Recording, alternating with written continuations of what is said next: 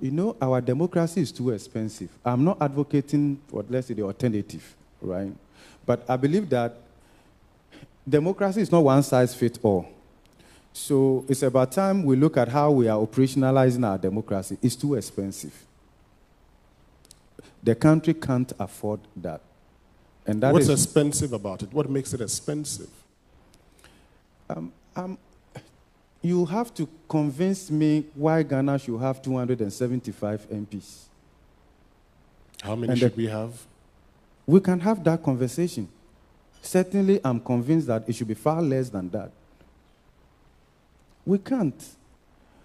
Since 1992, if you look at the cost of operationalizing our democracy, it's so huge. And it leaves very little for growth enhancing spending and for investment. We cannot tolerate that anymore. If you look at the size of government, the number of ministers and ministries, if you were running Ghana as a business, you would certainly have sacked some ministers by now, collapse some of the ministries, reduce government appointees, and associated costs of running it. Doing so will not hurt growth.